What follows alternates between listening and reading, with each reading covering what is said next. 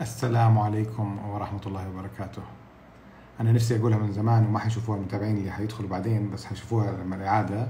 يقولوا it's show time ما أعرف إذا في أحد بترجمها. إنه وقت العرض.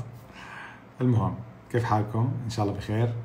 اليوم عندنا حلقة مميزة. آخر مرة ترى الدكتور نايف تأخر علينا فنشوف اليوم بيتأخر ولا لا. بس موضوعنا جميل و إن شاء الله تستفيدوا منه. آه، بفيد اللي آه، كمموا واللي ما كمموا. ارسلوا اسئلتكم على الإنستغرام. هنا يعني. وبنجاوبها في آخر الحلقة صارت الساعة 11 خلينا ناخذ مع بعض الفائزين من المرة الماضية. طيب. هذولي الفائزين كلهم فازوا ب 20% عددهم 39 عندنا كان آه، جائزتين من المرة الماضية اللي هي استشارة وإبرة فيلر. فحنسوي السحب على هذا الشيء.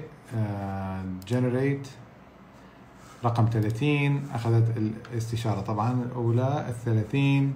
سارة عبد الرحمن مبروك عليكي الاستشارة المجانية. يا جماعة اللي أخذوا الاستشارات المجانية رجاء رجاء لازم تخلصوها في رمضان لأنه هي فقط صالحة في فترة رمضان.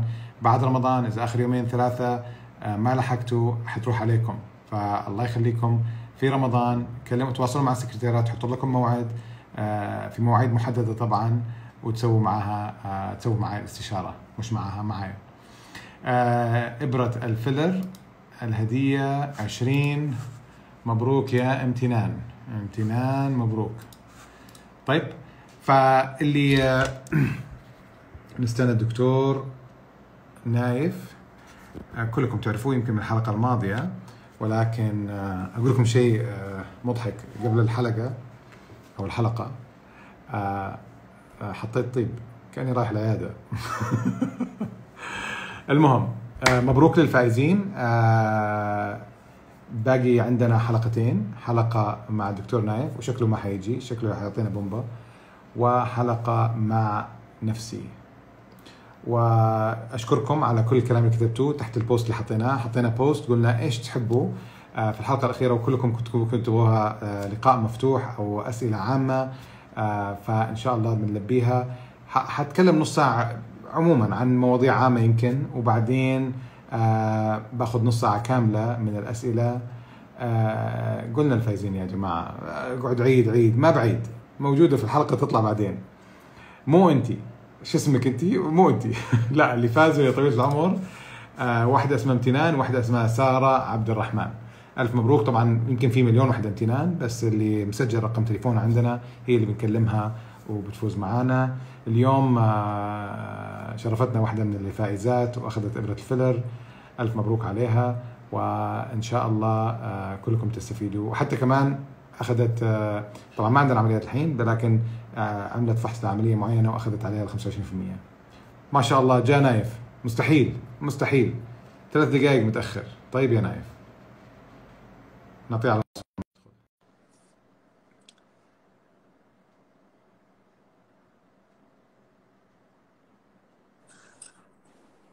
نايف. أنا آسف. آسف.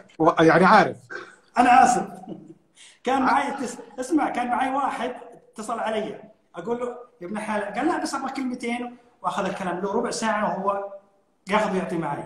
فآخر شيء اضطريت إني أقفل قلت لا عندي لقاء لازم اطلع إحنا قبل الحلقة بنص ساعة نطفي الجوالات.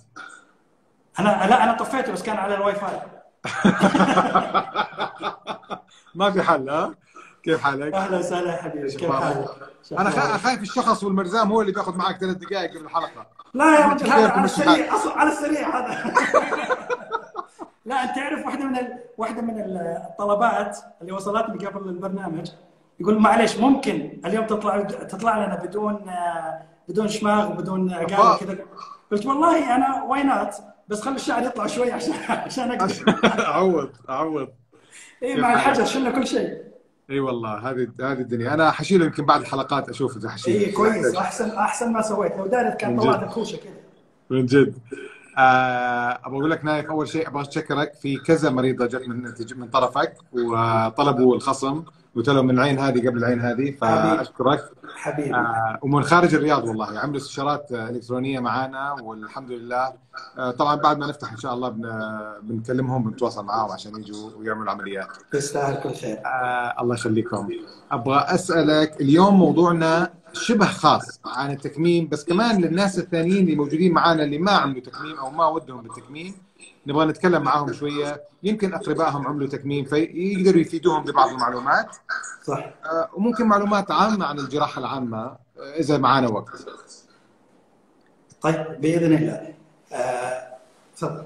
نبدأ أبغى أبغى بس عشان يعرفوا الناس إنه مو أي مو كل واحد يجي عندك حتقول له يلا نط على السرير خلينا نكمل. إيش إيش متطلبات التكميم؟ بودك ها؟ آه، طيب إحنا بالنسبة لنا طبعا أول ما يجي المريض دائما الناس يحبون يسوون عمل ودهم يسوون عمليات وهم في بيوتهم لكن دائما أقول لهم لازم تزور العيادة. في أشياء آه، في صدى في الصوت يا في صدى أيوه لما أتكلم أنا بيطلع عندك صدى فلو تحط سماعة أو شيء. طيب خليني أشغل السماعة دقيقة بس. أوكي.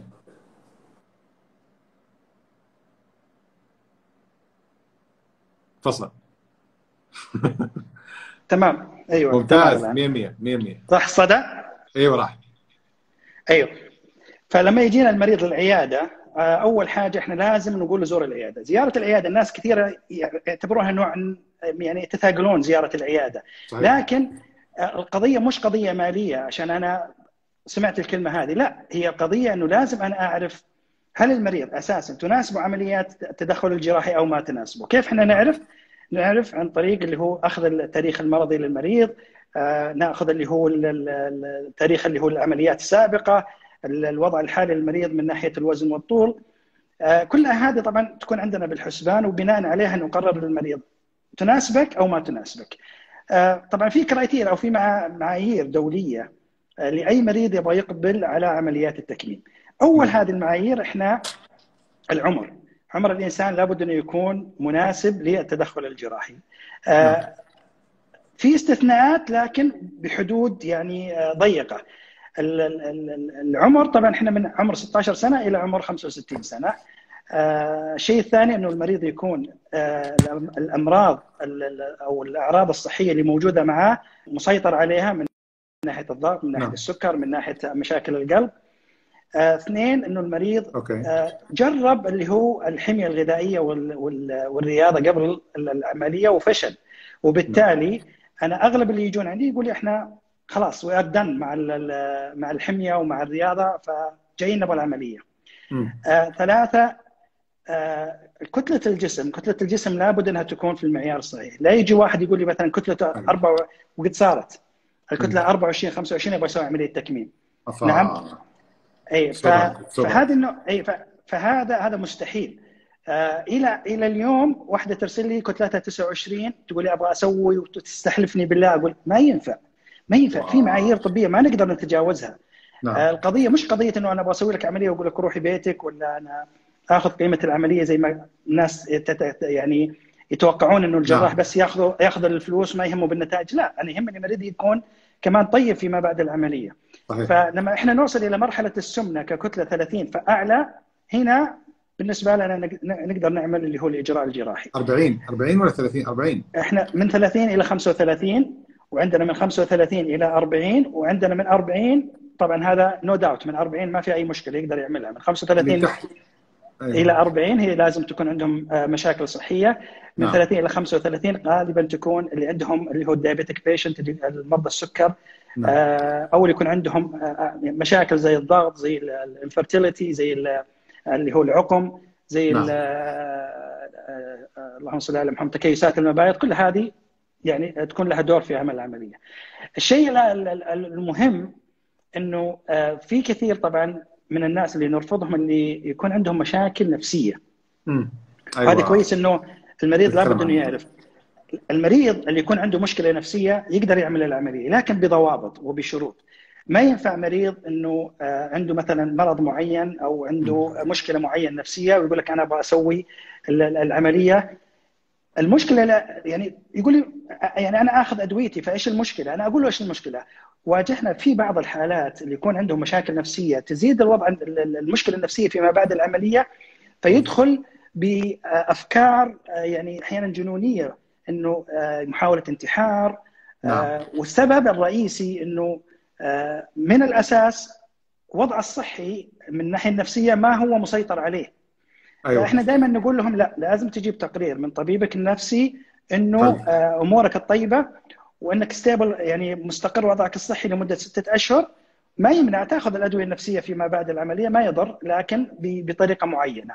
فهذول لابد أنهم يعرفون أنه الغرض من من من طلب التقرير لمعرفة وضع الصحي النفسي أثناء أو قبل إجراء العملية وكيف تأثيره لمرحلة ما بعد العملية. طيب هل هل فهذول الناس كان عندهم أمراض نفسية to start with بس قصدي هل في ناس جوكم وأنتم اكتشفتوا أنه ما هم stable من ناحية أشكال جسمهم اللي هي body dysmorphic disorder أو شيء وحولتوهم لأطباء نفسيين؟ هذه تصير وأنا أذكر لك قصة أحد المرضى. يعني أحد المرضى تواصل معنا من خارج الرياض وأحيانا تقدر تعرف من يعني طريقة محادثتك مع المريض. ف بعدين اكتشفنا في بعض الناس للأسف يخبون يعني يكون عارف لكن يخبي. أيوه. لمجرد إنه يبغى يسوي العملية وهذا خطأ. يعني نعم. الطبيب حيعرفك لما تجي العيادة حيعرفك. أيوه. فطلبنا بعدين تقرير طبي. لما قال لا أنا أستخدم كذا وكذا قلت تجيب لي تقرير طبي. للأسف التقرير اللي جابه تقرير غير صحيح والدليل إنه تمام تزوير. اكزاكتلي شوف إلى وين درجة وصلت عند الناس. ف قال لي إيش نوع اسم العملية عشان الطبيب يكتبها في التقرير؟ فحتى البيانات الطبية اللي كتبت غير صحيحة. يا الله. يعني هذه مشكلة والله. أيوه فلما جاني مصر يجي العيادة قلت له أنت حتجي وحتتكلف. في الأخير أنا ممكن أرفض عمليتك. نعم. فأنا عشان بس تكون في الصورة. المهم وصلني فأحيانا أنت من جلستك مع المريض تقدر تقيم الرجل أو أو الشخص اللي موجود قدامك وتعرف مدى احتياجه إنه لابد إنه يزور طبيب نفسي. فطلبت منه أثناء جلسته إنه يزور طبيب نفسي ويجيب لي تقرير جديد بوضع الصحي الحالي. نعم. وبناء عليه إحنا نقرر. من الأشياء وأنت تعرف دكتور أمير إنه في انتر اكشن في تدخلات في الأدوية التخدير مع بعض الأدوية النفسية. فالقضيه مش قضية جراحة. قضية الجراحة ممكن يعني يسيطر عليها لكن في تداخل في الأدوية مع أدوية التخدير مع أدوية النفسية. فهذه كلها لابد أن إحنا نتجاوزها ويكون المريض يدخل. دائما أقول أنا للمريض أبغاك تدخل عندي بعافية وتطلع بإذن الله بعافية من غير أيوة. اي مشاكل صحية. والطبيب يعني لازم يعرفوا المرضى إنه الطبيب مؤمن مؤمن على حفظ سر المريض. يعني يمكن الطبيب هو الشخص الوحيد، الطبيب والمحامي يمكن هم الناس الوحيدين في العالم اللي تقدر تأمنهم على سر عندك خاصة في جسمك أو في حياتك. لازم تقول لهم لأنه في النهاية اللي حيتضرر الوحيد هو المريض فقط. صح. الطبيب حيكشف بعدين بالتقارير وبالتحاليل إنه المريض خبى المعلومة عن الطبيب والطبيب طلع منها ولكن راحت على المريض سواء نتيجة ما هي كويسة أو لا سمح الله مشاكل ثانية اللي تكلمنا عليها مرة وأعتقد هذا حتى الشيء الشيء هذا مشترك بيننا وبينكم حتى في في عمليات التجميل. 100% يعني أيوه يمكن إحنا إحنا بالنسبة لنا يعني شيء بسيط لكن أنتم بالنسبة لكم حتكون شيء أكبر خصوصا لما مثلا لتسي مريضة عملت عملية تجميل عندك عندك مثلا وخبت نعم. عليك الأمور النفسية. بالعكس ممكن ما يناسبها تجيك بعدين تقول أنا ما ناسبني. صحيح. فهنا تلقى الوضع اسوء بالنسبة لها وتدخل في في في ردود فعل سيئة. 100% يعني بنشوفها بنشوفها دائما يعني في كل ما بقول في كل عيادة بس في كل أسبوع بمر علينا مريض أو مريضتين وواضح هذا الشيء. ما نحب نقول لهم وما هو ما أبغاهم ياخذوا فكرة حلقه اليوم. إحنا ما بنتكلم عن النفسية بس حنتكلم عنها شوية. ما بنقول أنتم يا جماعة ما نبغى نقول الكلمة مجانين. ما أنتم مجانين. ولكن هذا مرض. زي السمنة مرض. زي كسر الأنف مرض. هذا المرض. فيجب إن نشوف طبيب نفسي حيعالجنا. ممكن يكون بس بالكلام ممكن يكون بالأدوية اللي هو بس ما هو جنون. الجنون مختلف تماما. الجنون بندخل بمواضيع ثانية كبيرة بس هذا لازم التحليل. في عيادات كثيرة في أمريكا وأنت عارف وفي كندا اللي هي عندهم في العيادة يكون استشاري نفسي. سواء التجميل وسواء البارياتريك. أنت تعرف في في في أمريكا وكندا لما يجي مريض طبعا إحنا كلهم بالتأمين. واحدة من الأشياء أو requirements المتطلبات عشان المريض يخضع لعملية جراحة السمنة لابد موافقة الطبيب مختص التغذية الجهاز الهضمي وإلى آخره من ضمنها الطبيب النفسي. نفسي سبحان الله. شايف؟ فاي فلما يدخل على ال system يدخل رقم الملف مباشرة. يطلع إنه الطبيب النفسي يقول أعطاه click إنه okay he can go for surgery فهذه إن شاء الله قريبا هذه الخدمات بتكون موجودة هنا إنه ارتباط العيادات ببعضها والمستشفيات ببعضها يطلع عندك. خلاص جت من عند أمير حيكون واضح عندك في ال system كله. إن شاء الله إن شاء الله ال system موحد ويكون هذه أشياء ما تقدر تخبيها. وهي في النهاية. مو عشان إحنا نكشف عنهم إحنا عشان مصلحتهم في النهاية والبداية. صح. مو عشاننا والله. آه طيب خلينا نتكلم ناو سبيسيفيكلي بالتكميم. إيش اللي بتسووه بالعملية؟ خلينا ناخذ العملية كده خطواتها. إيش بيسووا؟ الناس كلهم بيسمعوا تكميم تكميم تكميم. طب إيش هو التكميم؟ هذا هذا كم؟ تكميم؟ يعني تحطوا كم على المرضى ولا إيش هو التكميم؟ والله أنا أشبه دائما بالكم. أيوه. شوف هي هي؟ فكرة فكرة التكميم آه، يعني هو مصطلح يعني مصطلح عربي أو آه، تحول من sleeve gastrectomy ال sleeve هو لو ترجمناها إلى العربي هي sleeve هي كم كم ال- الثوب مجازا. نعم.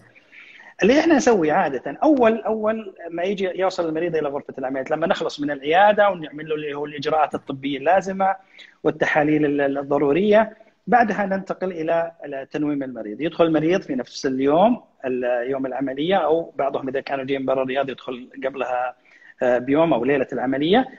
يا- المريض نطلبه لغرفه العمليات. حيشوف طبيب التخدير يتأكد إن أموره كلها طيبة. نعم. ندخل غرفة العمليات نسلم عليه وبعضهم ما يمدينا نسلم عليهم. يا حبيبي. بس ترى يطمن المريض. أنا دائما أحاول أحاول قصارى جهدي إني أكون جنب رأس المريضة أو المريض وهو بيتخدر. والله بيحسوا بطمانينه شديدة أتفق يعني. معاك مليون في المية. يعني أنا كانت وحدة الله يذكرها بالخير ما أدري إذا تسمعنا ولا لا طلعتني من غرفة العمليات قالت أبغى تجيبوا لي الدكتور نايف. أيوة. قلت طيب أنا شغال. يعني لسه قاعد أقص.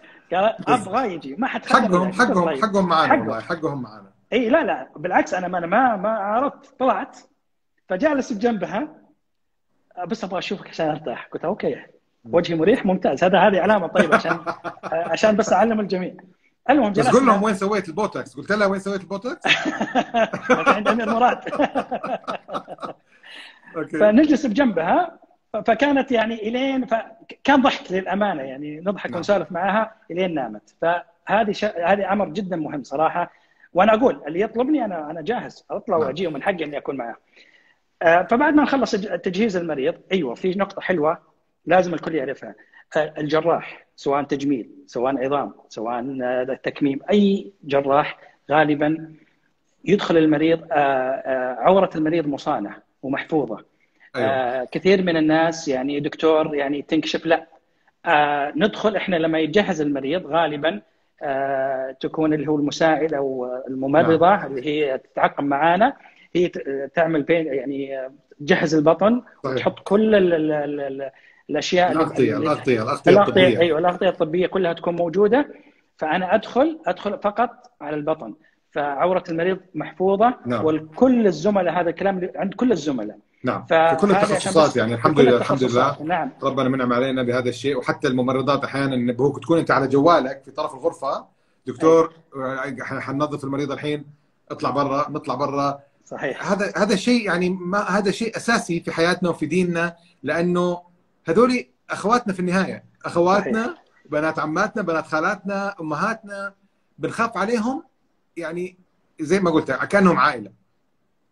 وهذا اللي صاير. يعني أنا أذكر والله مريضة دخلت يعني يعني أنا عورت قلبي بصراحة. كانت يعني عمرها تقريبا في الستين وكانت على سريرها قبل لا ندخل قالت الله يخليك ما أبغى أتكشف. قشعر بدني للأمانة.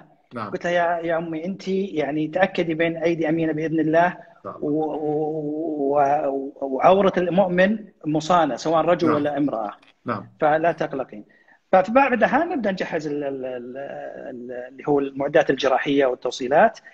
طبعا أول ما نبدأ في عمليات التكميم فلنفرض هذه خليني ارسم كويس اني أرسم يا أمير حيكون واضحه ها؟ أيوه أرسم أرسم. فلنفرض إنه هذا بطن المريض مجازا. أيوه. أوكي؟ هنا تكون عندنا اللي هو السرة. معلش نازل السرة لأنه كلهم ما شاء الله. ف... تبغى أرفع لك إياها؟ أرسم لك واحدة مرفوعة؟ إحنا لا إحنا ننزل تحت. بشر بشر يسلم عليك أخوي. عليك وعليه. السلام أنا ما تطلع معي تعليقات فما أعرف ما أشوف شيء. آه أوكي. ف... فهذه تكون اللي هو على القفص الصدري. نعم. فإحنا إيش اللي نسوي؟ نيجي هنا تكون فتحه في الجهة اليسار صغيرة تقريبا لا تتجاوز الواحد سنتي. آه وبعدين نجي فتحة ثانية للكاميرا. وبعدين فتحة ثالثة حتكون المكان اللي اللي آه نستخدم منه اللي نبدأ فيه القص. نعم. وهنا فتحة صغيرة لا تتجاوز كمان الواحد سنتي. نعم. حتكون عندنا أربع فتحات أحيانا تكون ثلاث فتحات على حسب جسم المريض. okay. طبعا ال- ال- الكاميرا تكون في المنطقة هذه. لا. sorry في المنطقة هذه. طيب. الأيدي حتكون هذه وهذه وهذه ثلاثة. نعم. حتكون في يد للمساعد ويدين للجراح. okay. الفتحة اللي اللي آه، أكبر واحدة هي المكان اللي إحنا نطلع منه منه المعدة بعد ما نقص نعم آه، وبجي لها هذه بعد ما نخلص اللي هو عملية القص. الشيء المهم اللي الكل لازم يعرفه إنه الفتحات كلها تكون فوق السرة. إحنا ما نشتغل آه. في السرة ما نوصل للسرة لأنه جاء سؤال أكثر من مرة على هذا الموضوع. ما نقرب للسرة نهائيا ولا ولا أحب أعمل أي فتحة في السرة لسبب إنه السرة مكان أساسا آه، مش نظيف. مش نعم. ف... فممكن يجمع سوائل فيما بعد وتبدأ عندنا اللي هو الالتهابات. فأغلب نعم. عملنا كله يكون فوق السرة. أيوه. فأربع فتحات هذه بعد ما نبدأ نحرر اللي هو ال- ال- الدهون من المعدة بعدها ندخل اللي هو أنبوبة. عدتي كلها معي سوري بس أنا بس برجعك موضوع. بس بالماضي كانوا يفتحوا بالسرة ولا؟ مو لا. سره السرة يعني فوق السرة كده على طول بحوالي ولا سنتي يعني في طرف السرة من فوق. أيوه هذه في في عمليات اللي هو المرارة. في لا، عمليات تكميم. المرارة. تكميم أنا شايف تكميم بسر بجرح في السرة. يمكن هذا جراح عن جراح لأنه في. جراحين ما زالوا يفتحون في السرة. أيوه. لكن أنا أتكلم عن عني أنا كشخص أنا ما أفتح في السرة نهائيا. okay okay. فكلها الفتحات تكون فوق. ومنطقي يا أمير أنا أقول لك الآن المريض كل ما زاد عنده الوزن فعندنا السره تحت حتكون صح؟ نعم. فالمعدة وين حتكون؟ تكون فوق. فوق. أي. فأنا لو أنزل تحت آه آه فهمت عليك. فحتكون yes. بعيده عني. نعم. فأنا أطلع دائما فوق. لما يكون المريض حجمه صغير فيكون الفتحة قريبة من السره بس ما ما ندخل في السره نهائيا. okay okay. فبعد ما نحرر طبعا الدهون اللي موجودة حوالين المعدة ونفصلها تماما أو الشحوم نبدأ أيوة. اللي هو نسأل طبيب التخدير نقول له دخل لنا أنبوبة اللي هو القص. أنبوبة القص هذه هي. إيش رايك فيني وأنا عدتي كلها. معي قلد قلد. شوف شوف. اتحداك أتحد... شوف شوف شوف. يا سهلا دقيقة يا حبيبي. شوف شوف أنت كمان. إيش تبغى؟ شوف أوف أوف أوف. معدة لا شوف شوف. ها. شفايف هذه هذه تسوي لها بوتوكس في البيت يا أمير. أيوه. أسلم. فإحنا نجي هنا يا طويل العمر. هذا راس الأنبوبة. أيوه. أوكي. sorry لا هذا راس الأنبوبة. هذا راس هذا الأنبوبة. البو... هذا اللي يسموه البوجي؟ هذا البوجي. أيوه. فإحنا ندخل الأنبوبة عن طريق اللي هو طبيب التخدير يدخلها عن طريق فم المريض نعم. توصل إلى أعلى المعدة من هنا نعم. وتمشي على طرف المعدة الداخلي حلو. بالشكل هذا. نعم. فإحنا لما نيجي بعدها هذه تقريبا مقاسها 36 French. أيوه. طيب فهذا اللي اللي هو قطرة يعني قطرة. القطر أي بالضبط القطر تبع ال- الأنبوبة. فهذا اللي أنا أستخدمه. عشان كذا القص يكون عندي آه، إلى 80% اللي يجي اللي يصير معانا أوبس. افاء فك المعدة. أوكي. لا هي هي تمام. عشان بوريكم المعدة من داخل. مم. طيب ف فلما نجي إحنا على طرف الم- المعدة من من من الجهة المتبقية حيكون الجزء هذا نبدأ من القص من تحت من جهة اللي أيوة. هو أسفل المعدة. نعم. فنبدأ القص إلين بشكل آه بشكل مايل عشان المعدة مايله أساسا. أيوه أيوه. إلين نطلع أعلى المعدة من فوق. حلو؟ نعم. هذا المنطقة اللي فيها هرمون الجوع. هذا أيوة. مسوي أزمة للناس. أيوه أيوه. فهذه نستأصلها حتكون معنا تقريبا 80% لما نستأصل على البوجي اللي أو الأنبوبة اللي إحنا شغالين فيها الآن. نعم. ال- الناتج النهائي حيكون عندنا معدة صغيرة على قطر اللي هو زي قطر ال- الأنبوبة صغيرة. انبوب نعم. بعد طبعا بعدها التدبيس اللي إحنا نستخدمه هذا شيء مهم، التدبيس اللي إحنا نستخدمه اللي هو التدبيس الثلاثي. اللي تجي أيوة. فيها ثلاثة اصفف من الدبابيس. زمان زمان كانت تستخدم الدبابيس الثنائية. أيوه. الثنائية وكانت فيها نسبة التسريب عالية. نعم. طورت الشركات الشركات المعروفة يعني في في عالم اللي هو الجراحات بشكل عام اللي هي وخصوصا جراحه السمنة طورتها فخلتها ثلاثية، الثلاثية بدأت أيوة. تعطينا يعني بفضل الله سبحانه وتعالى أمان أكثر من ناحية التسريب. ونقطة مهمة الناس دائما تسأل التسريب دائما يحدث في هذه المنطقة أعلى أيوة. المعده أيوه أكثر من المنطقة اللي هي السفلى والسبب إنه هذه أضعف منطقة. تكون موجودة في المعدة. لا لا يقطع عيد عيد عيد قطع طيب أكثر تسريب من أعلى المنطقة مو من تحت أكثر؟ منطقة أكثر منطقة تصير فيها التسريب هي المنطقة العليا من المعده أكثر من المنطقة اللي هي تحت السبب نعم إنه هذه المنطقة أعلى أضعف منطقة موجودة فالضغط المعده لما تصير صغيرة. حيصير فيها الضغط عالي أيوه وبالتالي أس أسهل منطقة تطلع منها اللي هي جهة المريء فاللي يصير عندهم ارتجاع إحنا ليش يقول ليش يصير عندي الارتجاع بعد العملية؟ ليش ما ينزل تحت يطلع على فوق؟ عرفت؟ فهذه المنطقة اللي تكون أضعف واحدة فيصير عندنا التسريب فيها. وبكل الأح... بكل الأحوال نسبة التسريب أساسا ضعيفة. يعني تتكلم عن 2% أيوه. 2% نسبة جدا قليلة. يعني اللي يسوي له تقريبا آه، 100 حالة ممكن حالة واحدة تصير معه ممكن ما تصير. لكن نعم. الاحتمالية هذه موجودة. آه، بعدها بعد ال- ال- العملية إحنا نتأكد أن الأمور طيبة نتأكد من النزيف إنه ما في أي نزيف نشيك على المعدة من فوق إلى تحت. آه، ثاني يوم من العملية يطلع المريض طبعا غرفته أو الإفاقة قبل الغرفة. الأدوية موجودة المسكنات موجودة كل شيء موجود. ثاني يوم من العملية نبدأ نعمل له اللي هو ال- الجاسوجرافين اللي هي الصبغة بال... الصبغة. أيوه نعمل له أشعة بالصبغة. الهدف منها إحنا نشوف آه، انسيابية اللي هو الصبغة داخل المعدة. نعم. فلو لا قدر الله صار في تسريب إيش يصير؟ شايفين الخطوط هذه حقت ال- ال- الشرايين؟ يصير عندنا تسريب زي شكل الخطوط. بس لكن آه. لونها أبيض أيوه اللي هي الصبغة فهذه يعطينا علامة إنه في عندنا تسريب أيوه آه، طبعا إحنا لما نتكلم عن التسريب بشكل عام هو أهاجس الناس والناس كلها تخاف من العملية بسبب هذا التسريب. نعم زمان كان التسريب يخوف بسبب نسبته العالية، الآن صار بنسبة قليلة. اثنين زمان كنا نحتاج كل عملية تسريب ندخل لها جراحيا. مم. الآن بفضل تطور العلم بدأت الوضع مختلف تماما. المريض دائما لما يكتشف وهذا شيء جدا مهم لما تكون بمتابعة رصيقة بطبيبك أو طبيبك يكون متابع حالتك اولا بأول نعم. لو لا قدر الله صار في تسريب يمسكه من البداية. فلما نمسك التسريب من البداية علاجه امره سهل وبسيط بإذن الله. اللي يصير إيش؟ إنه إذا في سوائل متجمعة يدخل عن طريق اللي هو التدخلات ال- ال- اللي هو الأشعة بالتدخلات أيوه. أيوه. شاكر. لنا انبوبه الأنبوبة تصرف السوائل اللي موجودة. اثنين المريض يأخذ تغذية بالوريد. ثلاثة نركب له دعامة عن طريق منظار الجهاز الهضمي. الدعامة تمشي على طول المنطقة ال- ال- ال- الباقية في المعدة. من من اللي هو المريء إلى أسفل. منطقة في المعدة. الهدف إنه المنطقة هذه اللي يصير فيها تسريب إحنا تجاوزناها. نعم. وبالتالي الأكل يقدر يأكل. الأكل أو السوائل اللي حتكون موجودة بعيدة عن جدار ما تلامس جدار المعدة. أيوه. هذا يعطي آه، منطقة التسريب فرصة إنها ترجع تلتئم مرة ثانية. أوكي. وبالتالي الدعامة تجلس من أربع إلى ستة أسابيع. بعدها بنفس الطريقة حنزيل اللي. هو الدعامة تكون. التأمت. فهذا هذا واحدة من الأشياء اللي متقدمة في العلم اللي اللي خلت نسبة الناس اللي يحتاجون للتدخلات الجراحية قليلة. أوكي. لكن لكن المريض أو إذا كان ما في متابعة بشكل لصيق إيش اللي يصير؟ المريض يجي بعد فترة شهر ولا شهرين هنا يحتاج غالبا إلى تدخل جراحي بتنظيف الم- ال- المكان والاجراء آه. اللي هو يجرى فيما بعد لكن نعم.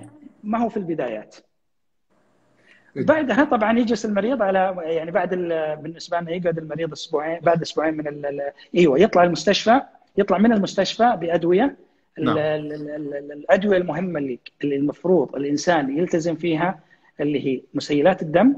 نعم. هذه أمرها جدا ضروري. طبعا. اثنين آه، اللي هو دواء الحموضة تبع النكسيوم أو إيش ما كان. نعم. آه، أدوية المسكنات والغثيان. دائما أنا أركز على شغلتين بعد العملية وهي المهمات. مم. واحد انتبه من الجفاف. الناس أيوة. تفكر في المضاعفات. الجفاف مصيبة. لأنه ممكن يسوي مشاكل أكثر من من مشاكل العملية نفسها. نعم. فتقعد يقعد المريض يركز على شغلة معينة لكن ما ينتبه إنه يقدر يشرب كميات كافية.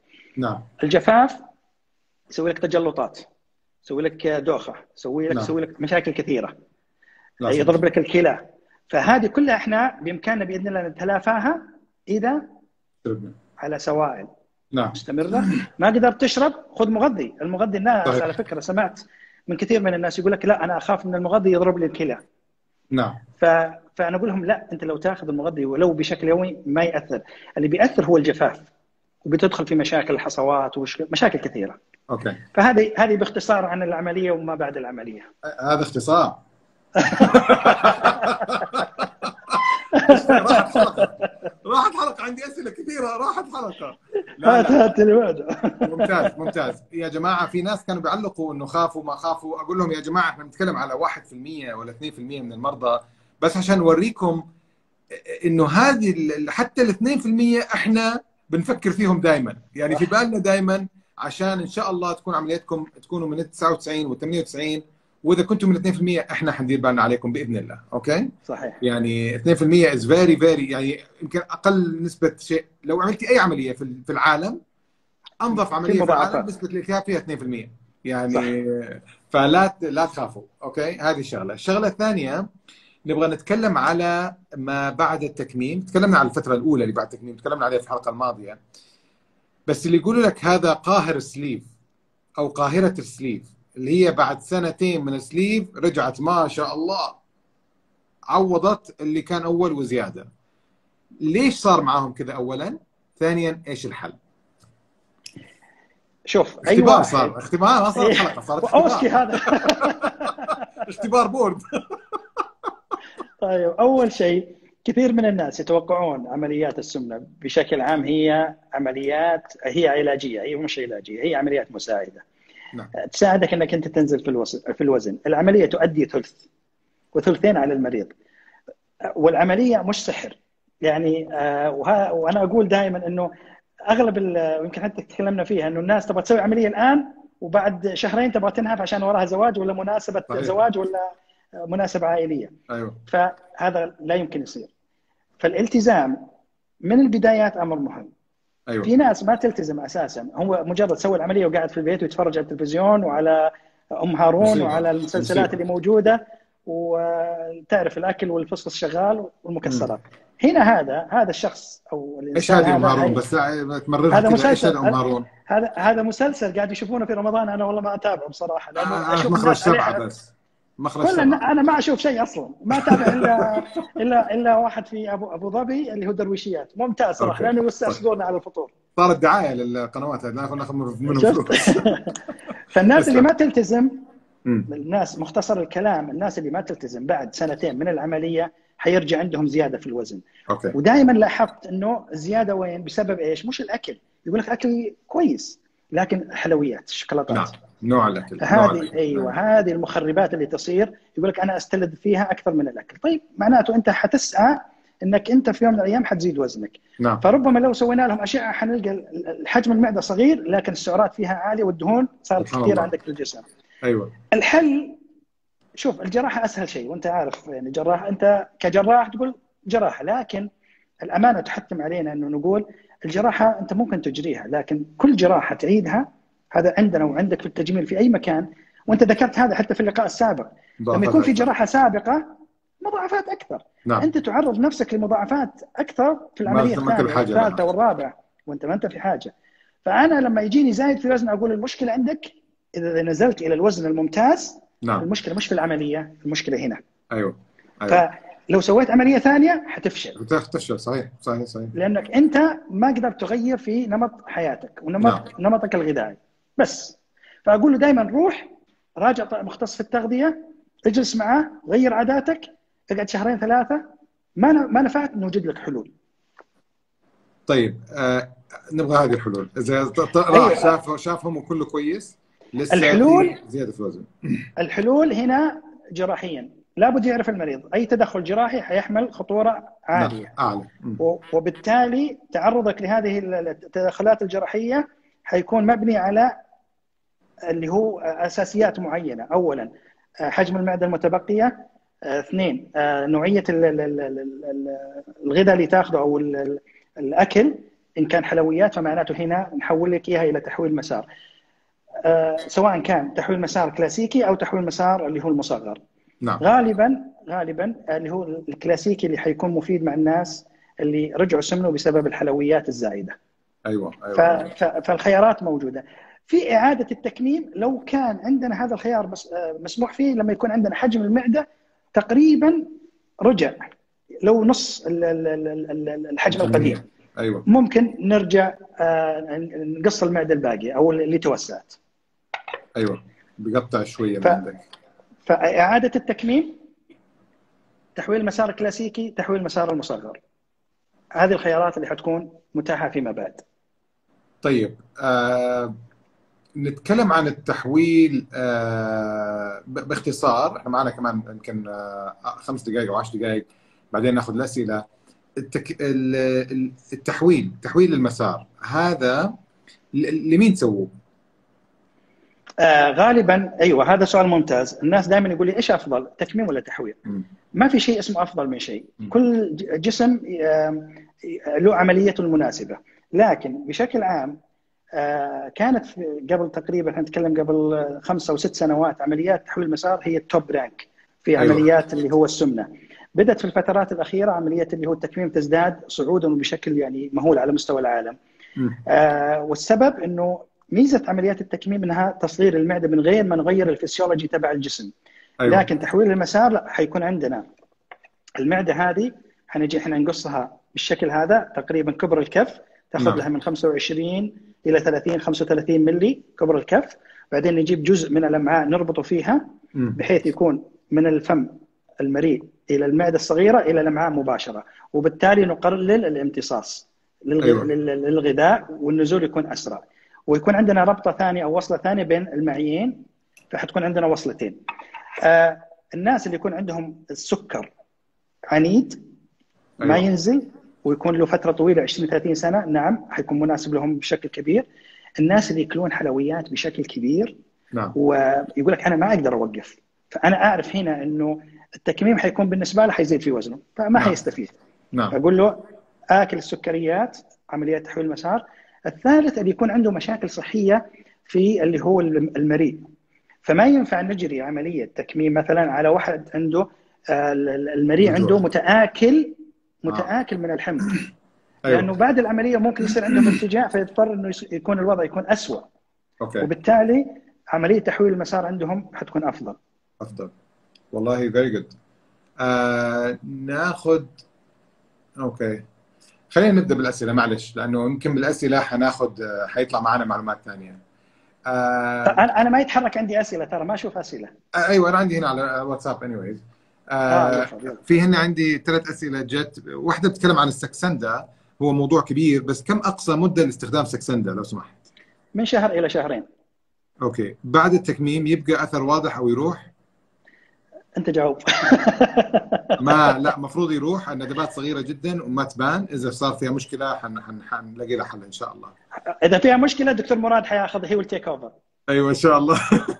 هل إذا كان وزن المريض أقل من 100 تقل نسبة قص المعده أو نفس المرضى الآخرين؟ لا حيكون طبعا إحنا ما نحسب على الوزن إحنا نحسب على الكتلة. غالبا لما تكون الكتل صغيرة أنا أنا آه، شخصيا أفضل إنها تكون القص أقل لكن في مرضى يقول لا خليها زي ما هي آه، القص المعتاد. فترجع لي ما يفضل للمريض. أوكي. آه...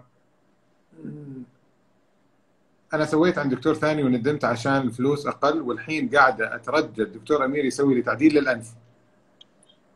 إيش رأيك نعمل لها تكميم؟ جاهزين إيش رأيك نعمل لها تكميم؟ هو إيش علاقة إيه؟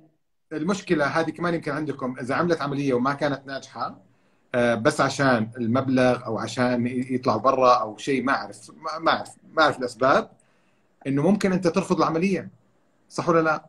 صح حقك وأنت الحين من ناحية التجميل بس أنت من ناحية التكميم لو صار في التصاقات كبيرة جوا انت ما تبغى تاخذ الريسك اللي غيرك خبص فيه تاخذه يصير عليك المشكلة. صحيح. ويمكن هذه رسالة كمان نوجهها أنا وأنت يا دكتور أمير إنه الإنسان ما يبحث عن وناقشناها ترى المرة الماضية إنه الإنسان ما يبحث عن السعر الأقل، السعر الأقل قد قد يحمل تبعات كثيرة، ابحث عن الجراح المختص في التخصص اللي أنت تبغاه سواء تجميل سواء سمنة الشخص المختص فيه الشخص اللي يحمل زمالة والزماله نعرفها اللي هي تدريب مقنن في ذات التخصص. نعم. هذا حيكون هو الشخص اللي بيفيدك في الإجراء الصحيح. نعم. آه لا تنظر للمادة لأنه أنت ممكن تسافر تصرف المبلغ صح. أكثر لما تيجي على صحتك حتقول لا أوفر. لما تصير في مشاكل حتبحث عن المختص يعدل أو يصحح مع أفسده إكس وهذا وهذا في في كل شيء. يعني أنت مثلا تروح تسترخص في بيتك. حتقعد باقي عمرك تقعد تصلح وصيانه عرفت كيف؟ حتخسر بزيادة فلوس عشان تصليح البيت بدل ما تبني البيت من الأساس بطريقة صحيحة. آه في اسم دكتور نفسي ترشحه. أنا ما أحب الأسئلة هذه بس إذا في أحد تتعامل معاه أنت تتعامل معاه دائما ولا لا؟ أو ما أو ما تبغى تجاوب ما في مشكلة. ممكن ترسل لي الخاص ارسل لها شوف ممتاز. ارسلوا على الدكتور نايف على الخاص ويرسل لكم أسماء الدكاترة النفسيين. الوزن وكتلة الجسم الأنسب. لو أبي أسوي عمليه تكلمنا عنها. أنا يجيني غثيان أحيانا ولي ست شهور مسويه العملية. هل هذا طبيعي؟ يعني طبيعي لأنه يعتمد على طريقة الأكل. يعني في ناس آه، ما زال العقل الباطن تبعهم آه، ما زالوا في مرحلة ما قبل العملية. نعم. فتلقاه يدخم نفسه بالأكل أو إنه آه، ما ما ينتظم في طريقة الأكل. فتلقى واحد من الناس أول ما يقوم الصباح على طول. لا المعدة تبغى أول ما تقوم الصباح غير لما كنت قبل العملية. تبغى تريحها أيوه. تريحها شوي تشرب شيء نعم. دافي وبعدين تبدأ. في ناس لا على طول على الأكل. فطبعا تجيك غثيان في هذا الموضوع. فهي تعتمد على طريقة الأكل. طريقة الأكل. وبعدين يعني نوع نوعية الأكل يعني في الليل قبل النوم واحد يأكل كربوهيدرات يفكر إنه والله هذه المعكرونه يا حليلها. ممتازة. ما حتعمل هي اللي حتعمل. الكربوهيدرات هذه الشوجرز العالية هي اللي بتعمل مشاكل. أو طماطم أو شيء زي كذا. آه كيف فينا ندخل بالسحب؟ عندي ولا عندك؟ عندك سحب؟ أنا عندي خلصت منه قبل شوي. قبل العشرة ونص. أجل هذا التليفون حقك. طيب طيب. لا لا لا في تليفون والله. والله في تليفون. لا أظن أظن بيتكلموا علينا. أنا دكتور اي مراد dot com. تدخلوا وتسجلوا كلمة اليوم اللي حنقولها الحين. كلمة اليوم آه إيش كلمة اليوم يا نايف؟ عطنا كلمة اليوم. والله طفشت من كلمات اليوم أنا. كلمة سهلة. يعني إحنا نقول الكلمة يعني. أيوه. طيب البوجي. البوجي ألف لام باء واو جيم ياء. البوجي. ولا بوجي بدون ألف لام؟ بوجي ما تظهر ما تظهر. سواء لام ولا بدون. البوجي أو بوجي. باء واو جيم ياء.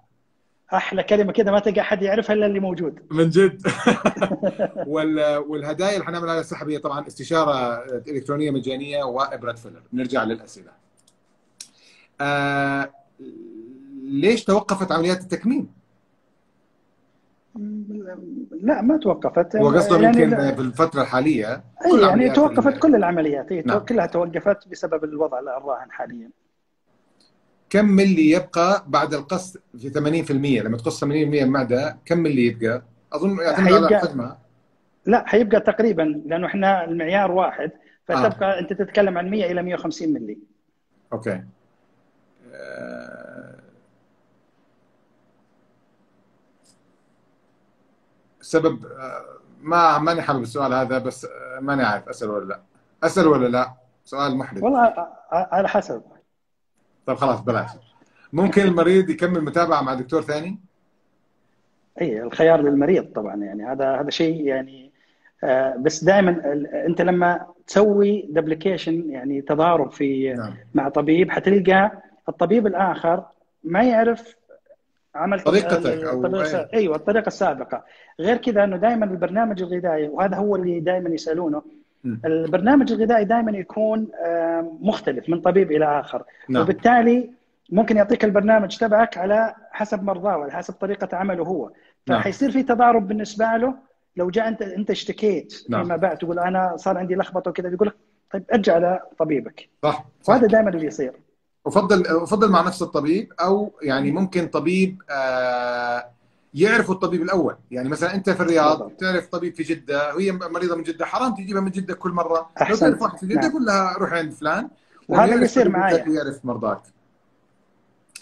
ال- واحدة تقول الندبات متى يروح شكلها المقزز؟ ما أظن شكلها مقزز. شفت ندبات كثيرة ما شكلها مقزز. أنا أعتذر منك على هذا الكلام. إذا في مقزز يكون في صار مشكلة في الجرح. التهاب نمو جلد أو شيء ولكن اللي أخذتيه الفائدة اللي أخذتيها أكبر بكثير من كلمة مقزز بنقولها وبعدين هي تعتمد على طبيعة الجلد يا أي. أمير يعني طبعاً، أي. طبعاً. طبيعة جلد الإنسان يلعب دور الأكل العادي من البيت ما فيه مشكلة لا ما في أي مشكلة بس إنه بعد الشهر أنا برنامج اللي أنا أخليه غالبا وأغلب الزملاء من شهر إلى شهرين بعد ما نعم. تنتهي برنامجك كل من أكل البيت يعني ما ما في أيوة. أي مشكلة آه هذا البرنامج ما ممكن يكون من البيت الأساسي؟ يعني ما تعطيهم مثلا الا هو- هو كله من البيت أساسا. كله من في البيت. ناس يعني إحنا ما نجيب شيء من المريخ أساسا. كله موجود عندك في الثلاجة. أفتح الثلاجه حتلقاه موجود. صح. بس أنت إيش اللي تحطه بس؟ الصوص اللي أنت تحطه ال- ال- ال- البهارات الملح هذه كلها بس إعادة يعني آه، ترتيبها. وتنظيمها. أيوه. بس لا أكثر ولا أقل. إيش العملية اللي مستحيل يرجع الوزن فيها؟ ما في. كل في. العمليات ترجع. نعم نعم. يقو- يقولون خطيره عملية التحويل. ما في ما أنا ما في عملية بنتكلم فيها ولا واحدة من اللي كل تكلمت فيهم أنا وزملائي خطيرة بمعنى خطيره لو خطيرة ما سويناها يا جماعة. إحنا ناقصين. ناقصين على راسنا. ما في أي عملية خطيرة. وكل طبيب بيشرح لك نسبة خطورة العملية ونسبة الخطورة أقل بكثير من الفائدة. لو كانت نسبة الفائدة أع... آه، نسبة خطورة أعلى من الفائدة صدقيني الطبيب ما حيسويها ما في. طبيب في المملكة حيسوي العملية إذا كانت نسبة خطورة أعلى من الفائدة أنت تعرف أنا ذكرتني في واحدة كانت لافة على سبع أطباء فجتني أنا آخر واحد كنت نعم. تقول لي شوف أنا بسوي العملية عندك بس بشرط ما قلت إيش؟ ما قالت. ما تقول اي لا لا تذكر المضاعفات أوفا. لا تقول لي اسم لا مضاعفات لا لا, لا. قلت شوفي لا يمكن في نعم. طبيب يجي يقول لك تدخل العملية وأضمن لك إنه ما في مضاعفات. صح. ما حد ضامن. الإنسان ما يضمن حتى نفسه. صحيح. فهذا غير صحيح. أنا أشبههم بشغلة بسيطة. تكلمنا اليوم كثير عن المضاعفات ما أحب أتكلم في الموضوع هذا بس يجوني في العيادة يقول يا دكتور آه، نبغى نسوي خشم مثلا وريفر شد بطن. في مضاعفات يا دكتور؟ أقول لها أنت كيف جيتي على العيادة؟ تقول لي أنا جيت بالسيارة. قلت لها صار معك حادث لا سمح الله؟ تقول لي لا ما صار. أقول لها طيب أحد المضاعفات إنه ممكن تصير معك وأنت جاية بالسياره إنه يصير حادث كان ممكن يصير. معك حادث؟ صح. نعم هذه هي بالضبط يعني يمكن حتى احتمال إنه لا سمح الله يصير معك حادث في السيارة أعلى من احتمال إنه يصير معك مشكلة صح. في العمليات اللي راحت حياتهم من diet ل diet يا دكتور ووزني 66 أقدر أسوي تحويل مسار اذا طولك 120 يمكن. exactly يعني ما في أحد طوله 120 يعني 66 يعني الطول ال- ال- المعدل الطبيعي للطول يعني تتكلم 150 إلى 155 إلى 160 أيوه. ووزنك س- يعني كمان يعني واحدة اركضي اركضي بس اركضي وأمورك طيبة. أيوه اركضي بالضبط. اركضي واركضي الاثنين. اركضي في البيت واركضي. جري. هل في أخصائية تغذية ممتاز ممكن أتابع معاه هذه كمان خليها على الخاص ارسلوا لنا على الخاص. نعم. ونفيدكم علاج ترهلات التثدي عند الرجل علاجات كثيرة. بنتكلم عن حلقة تثدي الرجال بعد العيد. إحنا ما بي... ترى هذه آخر حلقة مع ضيف. تصدق؟ أوه ما شاء الله. إي والله. ختامها مسك. باقي لي حلقة بعد بكرة الله الحالي يسعدك. وبعدين العشر الأواخر وبعدين العيد إن شاء الله. بعد العيد بنبدا. مرة ثانية إن شاء الله. بإذن الله. آه بالنسبة للسنة الأولى ما يرجع الوزن؟ لا شوف الوزن يعتمد عليه عليك أنت يعني في الأول والأخير العملية تقوم بدورها وانتهينا لكن. رجوع الوزن يعتمد على المريض نعم. إذا أنت رجعت للعادات السيئة طبعا حيرجع لكن حيرجع تدريجي ما حيرجع على طول نفس ما كنت نعم. قبل العملية لكن لابد أن ننتبه أنه نحرص اللي وصل للوزن المثالي أنا دائما أقولها لو زاد 2 كيلو حيكون يعني المفروض أنه نفسيته تتعب أيوة. فتحرص كل الحرص أنك أنت ما آه، ترجع. الوزن السابق آه في دراسة قريتها أنا بس حتفلسف شوية. في دراسة قريتها من فترة ما أعرف إذا طلع دراسات بعدها إنه حجم البوجي اللي بتستخدمه ما يفرق كثير في نسبة نزول الوزن.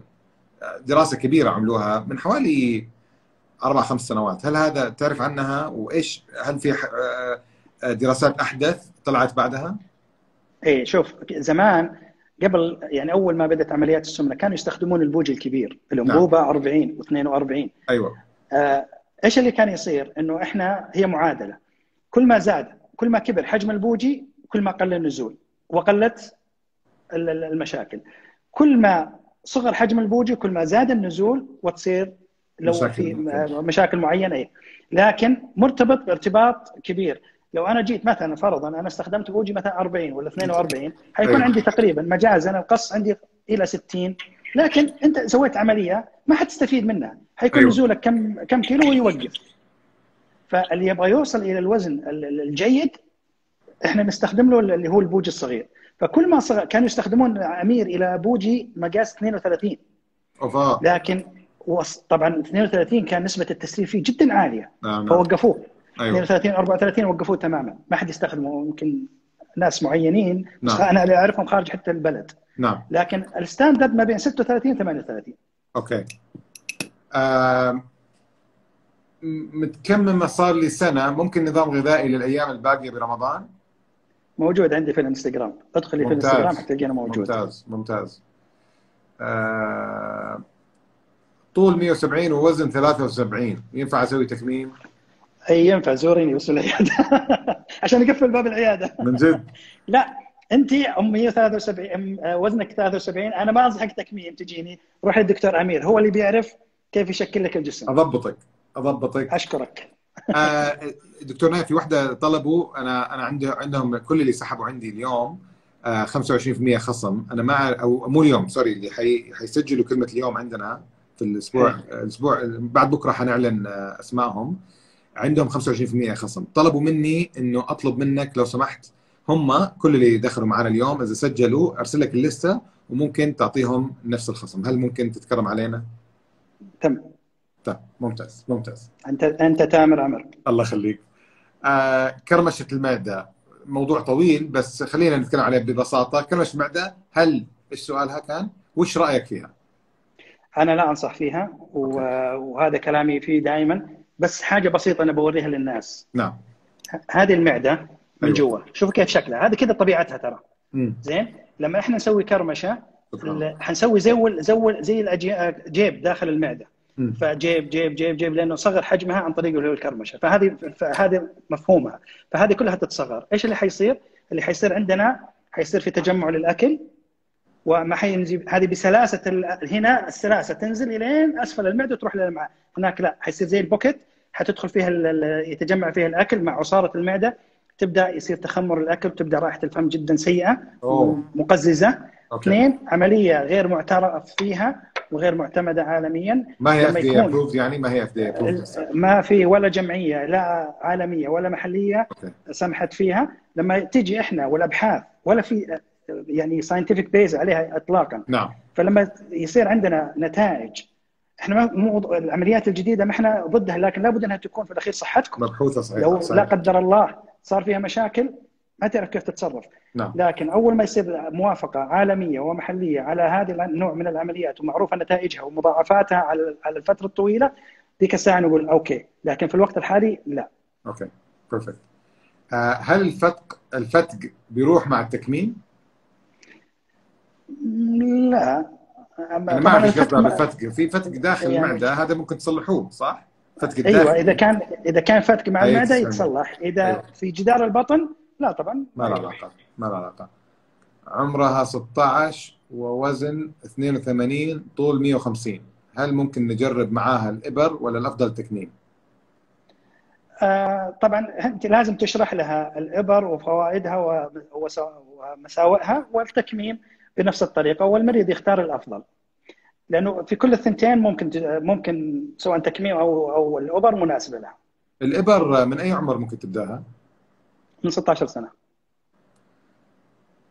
آه الإبر كمان اي ثينك لازم يكونوا في استشاري مراقب مع أوه نعم. يتابع العلاج مو أحسنت. واحد يروح صيدلية ولا يروح عند زميله وياخذ الدواء ما ينفع اللي يخبص ما ينفع تروح للصيدلية وتجي لأنه لها مشاكل كثيرة. لابد تعمل تحاليل معينة قبل لا تجري قبل لا تأخذ.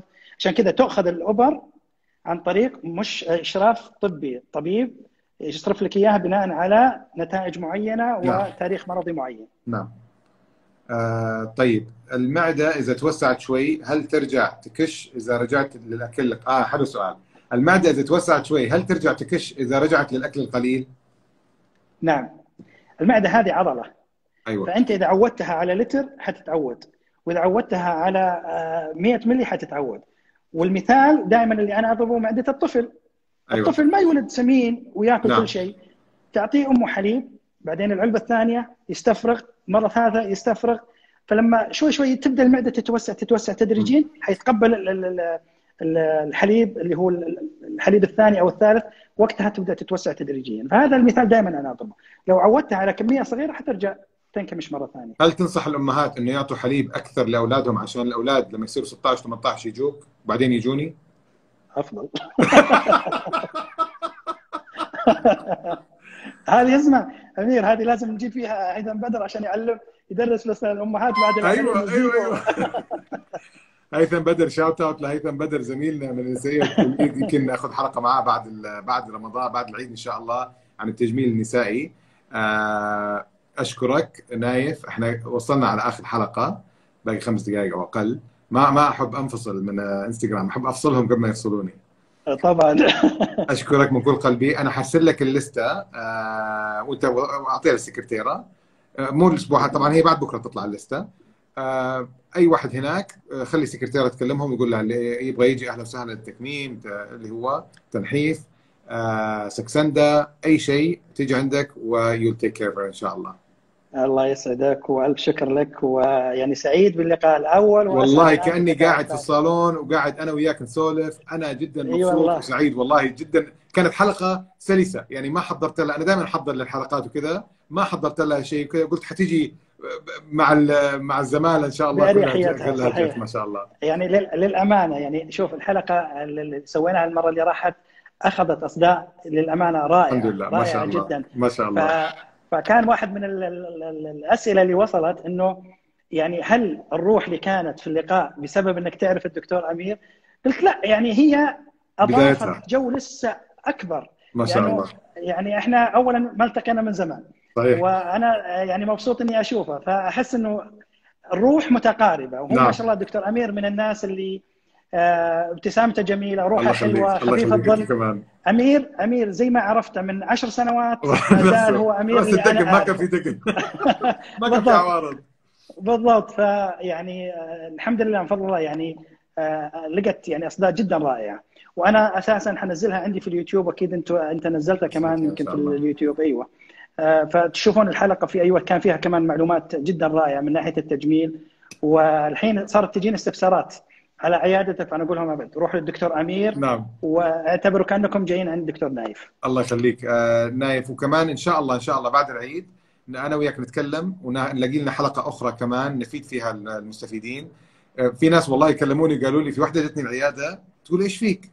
إيش فيك فلتان على الإنستغرام؟ كل هذه المعلومات كذا ببلاش. أقول إيش فيك حقد على الناس. خليهم يستفيدوا الحمد لله. صحيح قاعدين. ومستانسين والحمد لله الناس استفادوا. و- وهذا اللي نبغاه في النهاية. يعني إحنا في النهاية أطباء مهنتنا بالإضافة إلى العمليات والأشياء اللي بنسويها هو تثقيف المجتمع. فإن شاء الله يكونوا تثقفوا بهذا الحلقات وتنزيلها. في ناس ما ينزلوا حلقاتهم. صح. إما لأنه ما يقدروا أو كذا أو ما يبغوا بس إحنا الفائدة للجميع إن شاء الله وكله يستفيد وإن شاء الله خير. حبيبي نايف ونراكم على خير إن شاء الله وعشر اواخر مباركه عليكم إن شاء الله. وكل عام وأنتم بخير. إن شاء الله. وأنت طيب يا حبيبي. الله نشوفك على خير. إلى اللقاء. إلى اللقاء. مع السلامة. مع السلامة.